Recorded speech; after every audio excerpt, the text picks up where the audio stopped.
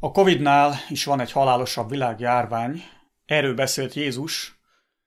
Egyszer előszólította a sokaságot, és ezt mondta nekik, hogy halljátok és értsétek meg, hogy nem az fertőzteti meg az embert, ami a szájon bemegy, hanem ami kijön a szájból, az fertőzteti meg az embert. A tanítványai megkérdezték Jézus, hogy ez mit jelent, és ezt válaszolta, hogy nem értitek, hogy minden, ami a szájon át bemegy, az a gyomorba jut, és az árnyék székbe vettetik. Amik pedig a szájból jönnek ki, a szívből származnak, és azok fertőztetik meg az embert. Mert a szívből származnak a gonosz gondolatok, a gyilkosságok, a házasságtörések, a paráznaságok, a lopások, hamis tanú bizonyságok és a káromlások. Ezek fertőztetik meg az embert. Jézus arról beszélt, hogy a a szívnek a gonoszsága az fertőzteti meg az embert. És ezt nyugodtan hívhatjuk úgy, ezt a halálos betegséget, ezt a fertőző világjárványt, amiben mindenki fertőzött, ezt nevezhetjük úgy, hogy bűn. És megvan írva a Bibliában, hogy a bűn zsoldja a halál. Tehát ez egy halálos világjárvány. Isten szemében te bűn pozitív vagy. És Isten nem tud veled egy légtérben lenni, nem tud közösségben lenni, karanténba kell téged rakjon, és tudod, hogyha egyszer meghalsz, mert mindannyian meghalunk, és ha a bűneinkben halunk meg, akkor bizony örök karantén vár ránk. És ez nem házi őrizet lesz, hanem Jézus azt mondta, hogy ott lesz féreg, ami soha nem múlik el, nem pusztul el, lesz ott tűz, és lesz annak füstje, és lesz sírás és fogcsikorgatás örökkön örökké a tűz tavában, mert Isten nem fog közösséget vállalni a bűnnel, ezzel a világjárványjal, és az emberek fölázadtak Istennel szemben. Jézusnak az egyik tanítványa azt mondta, János az egyik levelében, hogy mi tudjuk, hogy az Istentől valók vagyunk, és az egész világ gonosz hatalmában van. Ennek te is része vagy. Az egész világ a gonosz hatalmában van. Te a bűnnel vagy fertőzött. És János azt mondja, hogy az Isten fia eljött, hogy adjon nekünk értelmet, hogy megismerjük az igazat. Oké? Okay? És hogyha te megtérsz Jézus Krisztushoz, akkor belekerülsz az igazságba, Jézus Krisztusba belekerülsz, mert ő az igazság, ő az út, az igazság és az élet. És maga Jézus Krisztusban van az örök élet, ő maga az örök élet. Ő a föltámadás és az élet. Kérlek gondolkozzál ezen újra, és ne botránkozzál meg, neved személyeskedésnek, amikor azt mondja János apostol, hogy az egész világ a gonosz hatalmában van. Te se vagy jó.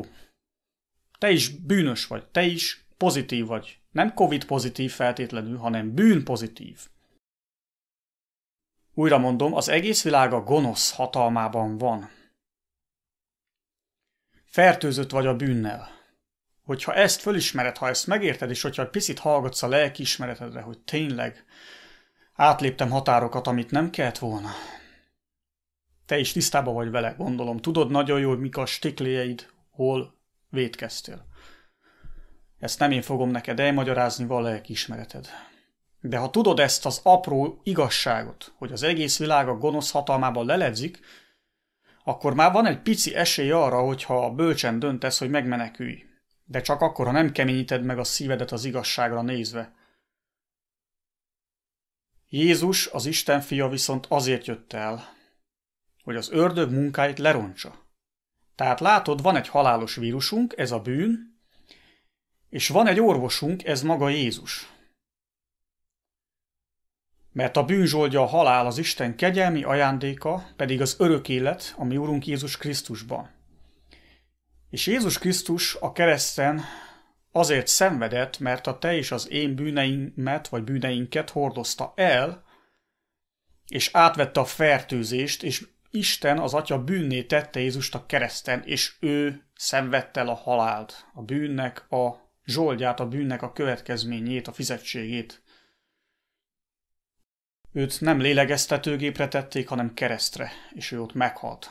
Azért, hogy neked ne kelljen, meg nekem se kelljen Isten haragjával szembenéznünk. Jogos haragjával. Tehát még egyszer, a bűnzsoldja a halál, az Isten kegyelmi ajándéka, az örök élet, ami Urunk Jézus Krisztusban. A bűn téged fogjulejt, Jézus is azt mondta, hogy ti a bűnnek a szolgái vagytok, de akit a fiú megszabadít, az valósággal szabad, és Jézus meg tud téged szabadítani ettől a halálos világjárványtól, a bűntől.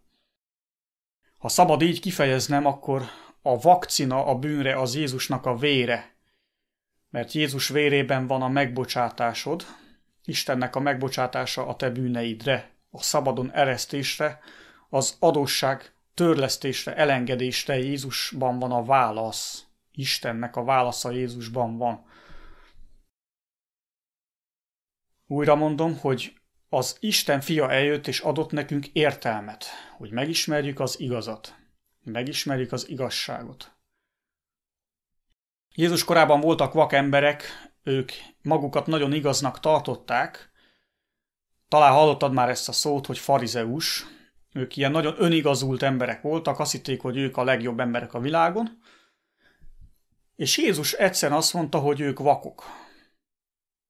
És hogy a vak vezet világtalant, ez innen ered ez a mondás, hogy Jézus ezekre az önigazult, saját magukat jó embereknek tartó farizeusokra azt mondta, hogy hát ezek vakok, akik vakot vezetnek a, a gödörbe. Most, hogy tudod az igazságot, hogy van egy Covid-nál is erősebb és régebbi világjárvány, ez a bűn, akkor, hogyha tudod azt, hogy Jézus az orvos, akkor rajtad áll, hogy vak akarsz-e maradni továbbra is, mint ezek a farizeusok, akik azt hitték, hogy ők jó emberek, vagy beismered, hogy beteg vagy, beismered, hogy pozitív vagy a bűnnel, és látni akarod az igazságot, látni akarod a, a gyógyulást, a szabadulást. Egyszer Jézus ezt mondta, hogy ítélet véget jöttem én a világra, hogy akik nem látnak, azok lássanak. És akik azt hiszik, hogy látnak, azok vakok legyenek. Amikor ezt meghallották a farizeusok, akkor azt mondták neki, hogy akkor most mi is vakok vagyunk? Jézus ezt mondta nekik, hogy ha vakok volnátok, akkor nem volna bűnötök. Tehát, hogyha azt mondanátok, hogy Jézus nem látjuk teljesen jól a dolgokat, kérlek segíts. Akkor nem volna bűnötök. Ám de mivel azt mondjátok, hogy látunk, hú, hát mi mindent tudunk, mi tudjuk a tutit, nekem nem mond meg Istenem, hogy, hogy én rossz vagyok, mert én jó vagyok. Tehát, hogyha ti azt mondjátok, hogy látunk, akkor megmarad a ti bűnötök. Hát, hogyha te fertőzöttként nem akarod az orvosságot, hát akkor megmarad a fertőzésed. És hadd bátorítsalak arra, hogy ne legyél ilyen bőstelen, mint ezek a farizeusok, hanem vegyél egy jó példát egy vakkoldusról, talán hallottad már a vakkoldus történetét, hogy elment Jézus az úton, a vakkoldus pedig ott tücsörgött az út szélén, és ugye kéregetett, és amikor meghallotta, hogy Jézus jön, akkor elkezdett kiáltozni, hogy Dávid fia, messiás, Jézus könyörülj rajtam, és akkor Végül is Jézus odahívatta a vakot, és megkérdezte, hogy mit akarsz, hogy cselekedjen veled. Ez egy fantasztikus kérdés, amikor Jézus megkérdezi tőled, hogy mit akarsz, hogy cselekedjen veled. A vak pedig ezt mondta neki, Mester, hogy lássak. Tudod, a legjobb ima, amit valaha elkövethetsz, az az, ha megkéred Jézust, hogy Mester szeretnék látni. Istenem, ha létezel Jézus, ha te vagy a, a Krisztus, a messiás, ha te tényleg üdvözítő vagy, ha tényleg föltámadtál halálból, nem értek sok mindent, ha tényleg el tudod venni a bűnömet, akkor mester, én akarok látni. Legyél te is ilyen vakkódus, hogy kiáltasz, hogy már eleged van, és ne a társadalomba keresd a megoldást, ne a tüntetéseken, ne a mozgalmakba keresd a megoldást.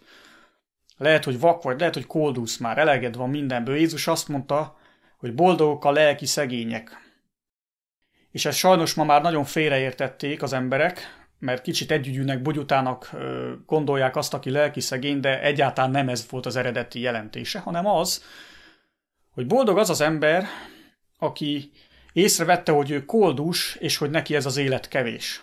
Tehát amit itt látsz, ez a, a világ, ez neked kevés, és te koldulsz valami többre. Koldulsz valami csúnya szóval spirituális dologra, egy olyan dologra, ami több ennél a látható életnél.